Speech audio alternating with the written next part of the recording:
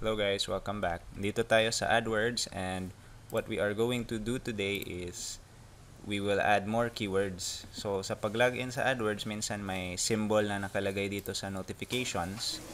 And once I click on that notifications, meron siyang mga suggestions, additional keywords na pwede nating idagdag. So 7, 7, tsaka 9. Yung unahin natin dito sa AdWords keywords is yung mas marami ang weekly clicks, yung mas marami ang weekly impression. So, uh, you can see here on the opportunities tab, ano yung mga suggestions ng AdWords. And then, i before mo i-approve yan, i-review mo muna. So, how do we do that? Dito sa opportunities tab, uh, you see here three opportunities. We, we will start with the one with the most weekly clicks and the one with the most weekly im- impressions. So click on view. And it will now show us ano yung mga keywords na ginasuggest nitong Google AdWords. So these are automatic suggestions from Google and we will just choose ano yung sa tingin natin are um, are related.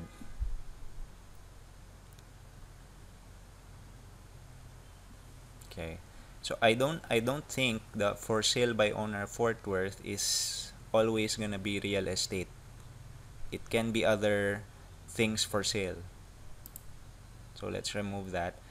And condos, I'm not exactly sure if the client is using condos kasi mostly puros bahay yung na-observe ko doon sa mga binenta niya.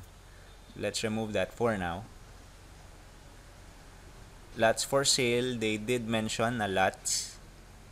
And mansions for sale, it would be good.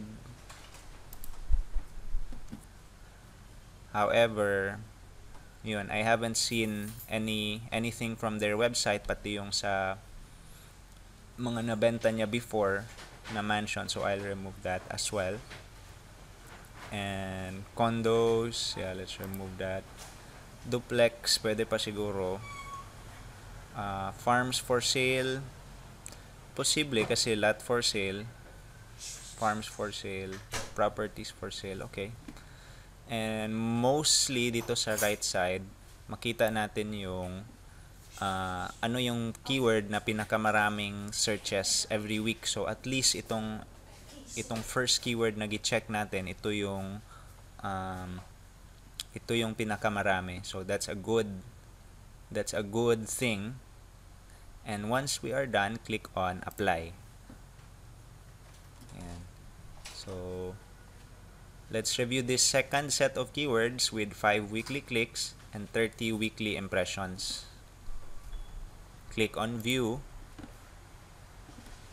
At home Fort Worth. So parang hindi siya related. Posible na hindi siya buy and sell ng bahay so Fort Worth Homes million dollar homes in Fort Worth, Texas, why not? Okay, so Fort Worth luxury homes, pwede pa. New homes, new build homes in Fort Worth, okay. Historic Fort Worth homes, parang hindi siya masyado related. You know, it's not likely.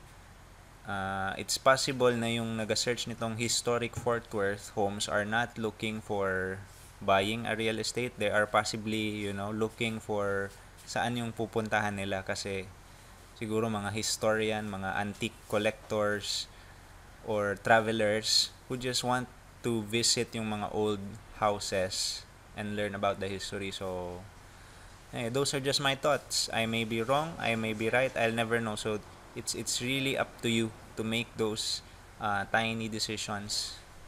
And looking at the right side, ang pinaka maraming weekly searches is yung Fort Worth Homes and it's part of the uh, keywords that we chose which is a good sign. And click apply. And lastly um, itong weekly clicks tsaka weekly impressions na plus 1 lang tsaka plus 12 sige lang uh, Dallas Fort Worth hindi siya actually nandyan din ang Fort Worth but they do not sell in Dallas but since andyan yung Fort Worth sige lang let's add that new homes for sale, homes for sale, homes for sale, TCU, okay, okay lang yan, basta may Fort Worth. Luxury homes, Fort Worth homes for sale with pool, eh, why not? Fort Worth homes for sale, 76109. Ito yung zip code, as long as nandyan yung Fort Worth, that's good. Um, so, we'll hit apply. And that's basically it. So, that's it for this video. And we did some maintenance over the past few days and I showed you uh, ano yung mga ginawa. And ito yung up and down movement kung ilan ang nag-click in the last um, the last few days. So this this is normal. We see a decline pagdating ng Friday tsaka Saturday kasi I'm guessing Friday is the time na people are tired from work and you know they Saturday is the time na nag-rest ang tao and then Sunday may konting energy na sila mag ano na naman. So we'll see. We'll see if this pattern is consistent in this particular industry na wala masyado sa Friday and Saturday. And hindi pa tapos yung Monday. So we are still waiting for more data. So that's basically it. Um, just keep tracking.